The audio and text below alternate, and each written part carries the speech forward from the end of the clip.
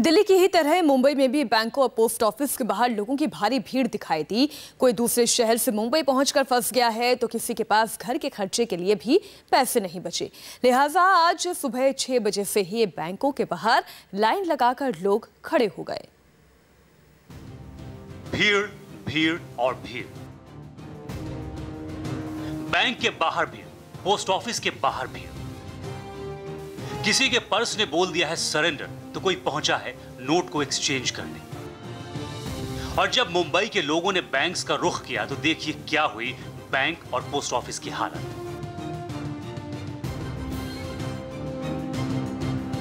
हर तरफ़ लोग ही लोग, जो लाइन लगाकर अपनी बारी के इंतज़ार में खड़े हैं। कोई थक कर लाइन में ही बैठ गया है तो कोई उम्मीद से बैंक के खुलने का कर रहा है इंतज़ार। भीड़ इतनी है कि बैंक्स के बाहर और अंदर पुलिस फोर्स लगानी पड़ी है। ये तस्वीर है देश की आर्थिक राजधानी मुंबई की, जहाँ आमतौर पर लोगों को बिस्तर छोड़ते छोड़ते सुबह के आठ बज जाते हैं। लेकिन आज मुंबई का नज़ारा बदला बदला सा दिखा। आज लोग सुबह से ही बैंक्स के बाहर खड़े हो गए।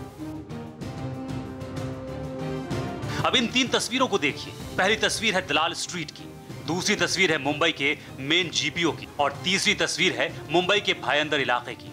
दलाल स्ट्रीट और मेन जीपीओ में जहाँ लोगों की लंबी लाइनें लगी हुई हैं, वहीं भायंदर इलाके में लोगों को वो दो हज़ार रुपए का नोट मिल चुका है, जिसकी अब तक सबने तस्वीर ही देखी थी। और अब देखिए मुंबई के अलग अलग इलाकों की तस्वीरें, जहाँ पर सुबह से ही लोग अपनी बारी के इंतज़ार में बैंक के बाहर कुछ यूँ लाइन में खड़े दिखे।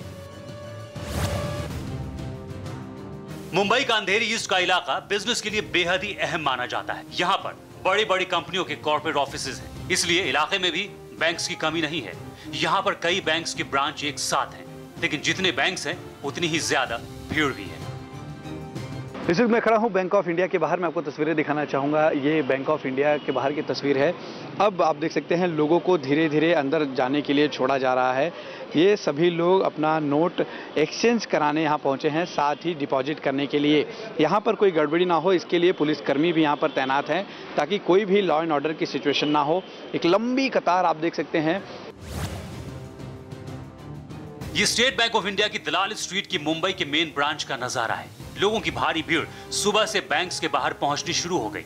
सुबह से ही लोग बैंक खुलने का इंतज़ार कर रहे थे। मुंबई की स्टेट बैंक ऑफ़ इंडिया की मुख्य शाखा बॉम्बे स्टॉक एक्सचेंज के पास है और यहीं पर इस वक्त हम मौजूद हैं। सुबह से ही लोग जो अपने पास कैश लेकर आए हैं और जो बैंक से अपना व्यवहार करना चाहते हैं, वो यहाँ पर मौजूद है।